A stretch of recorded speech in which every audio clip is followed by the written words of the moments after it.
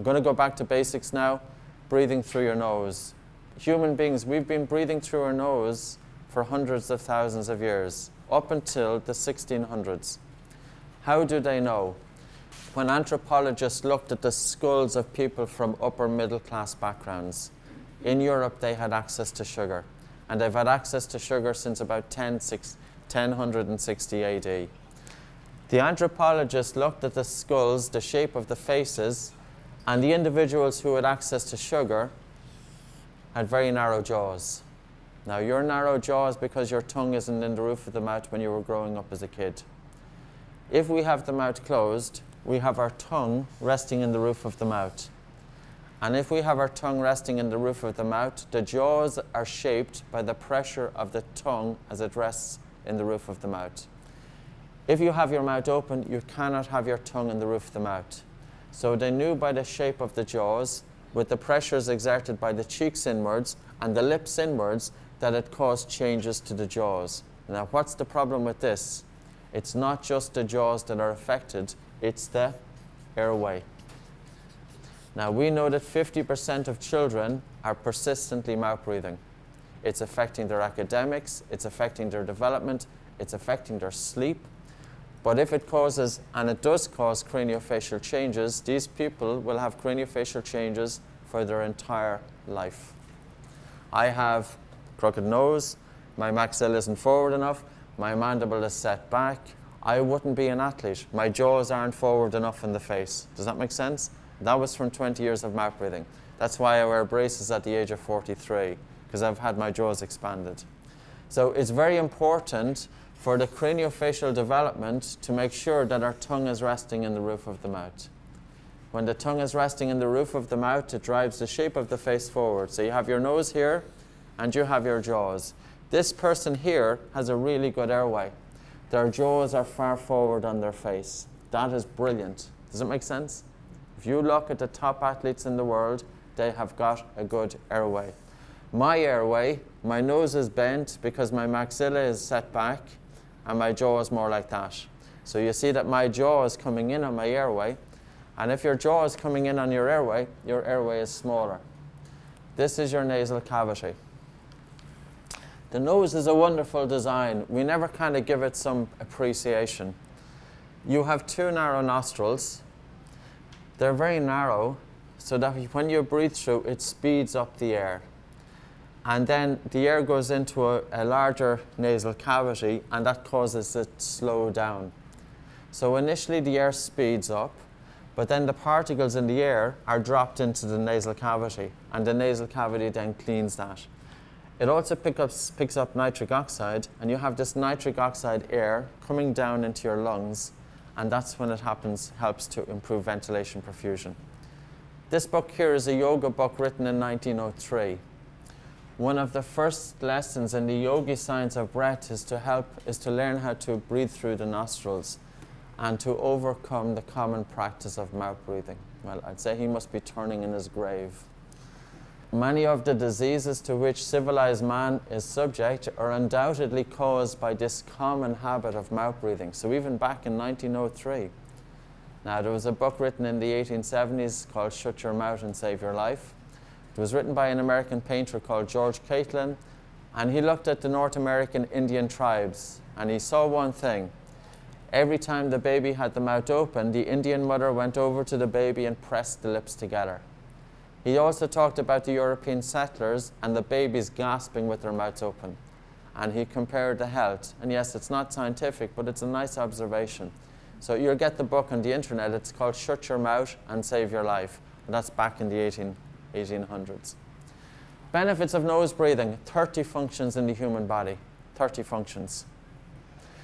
It imposes 50% resistance to your airstream. This is very important during the day your nose slows down your breathing, and by slowing down your breathing, you pick up a higher concentration of nitric oxide. By slowing down your breathing, the air is coming into the lungs at a slower pace, and it gives enough time for oxygen transfer to take place.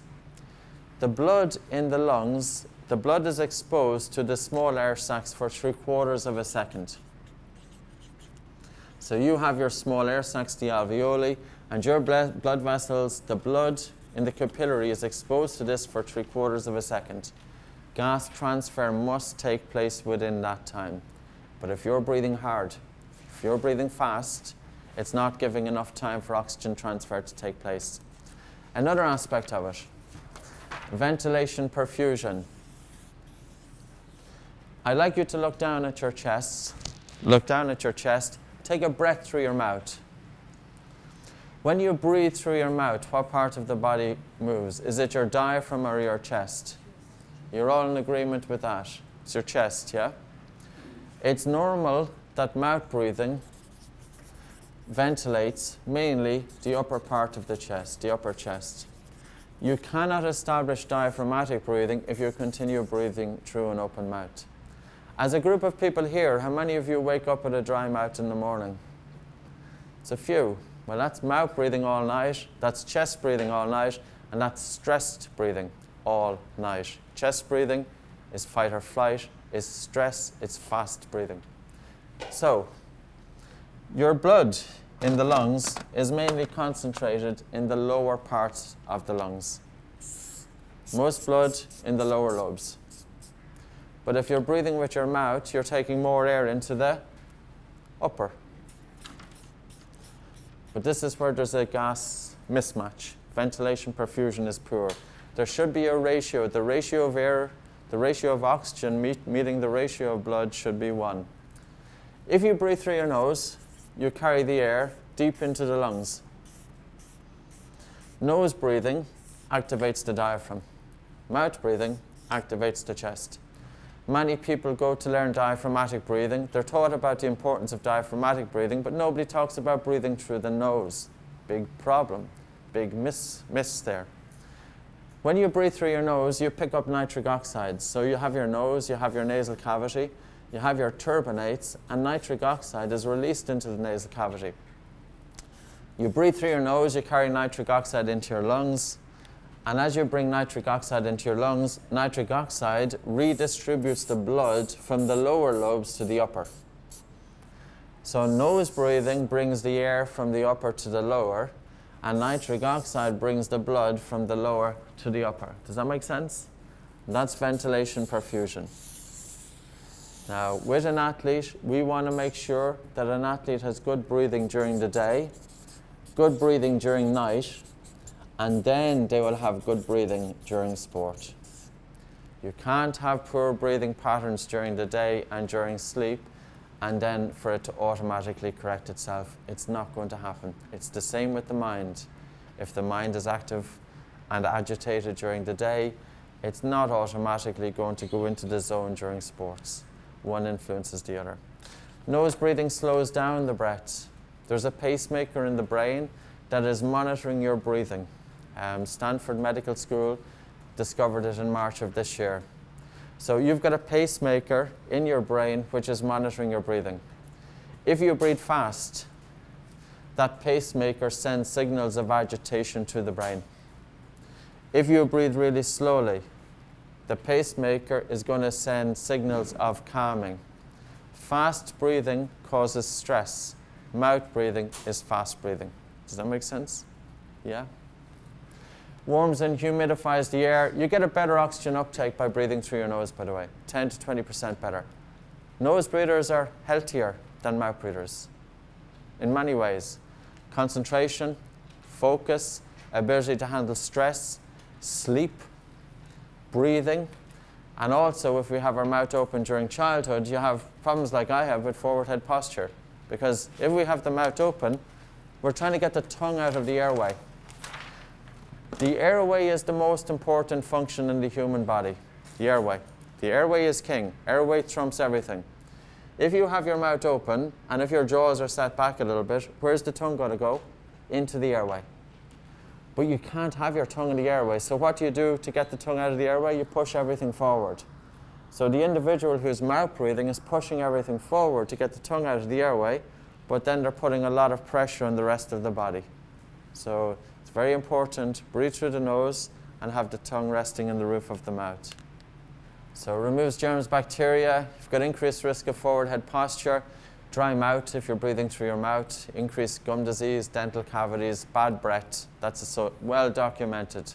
Academic performance in children is lower in mouth breathers. Speech problems is higher in mouth breathers than nose breathers. Bad breath, snoring and obstructive sleep apnea.